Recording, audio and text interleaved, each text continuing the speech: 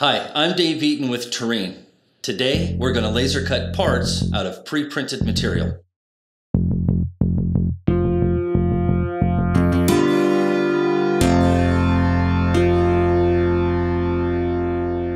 This material is 1 16th inch acrylic and pre-printed artwork has been applied to the top surface. Notice the targets on the artwork, they'll be important later. We're going to take this over to our Kern HSE system and cut pressure gauge faces from it. First, a vector file of the project is loaded into the laser's processor. Typically, we use an EPS, AI, or CDR file format. The laser operator takes the file and prepares it for use. Using the file, a hole is cut out of the cardboard covering the laser's vacuum table. The material to be cut will be placed in the hole, and the vacuum table will make sure the material doesn't move around.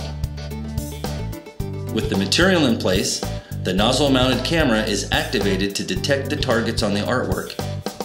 The laser's computer will take measurements of the target locations and compare the measurements to the corresponding targets in the vector file.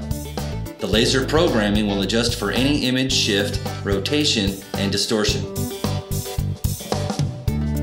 Once the target data is processed, the laser is ready to cut. This project is acrylic, but the Kern HSE is capable of cutting parts out of assorted plastics, rubber, wood, leather, and many other materials. And here are the finished parts. If you want to learn more about how Terrene can be your solution, check out our website or contact us directly via email or phone. Don't forget to ask about a tour. We'd love to show you our shop.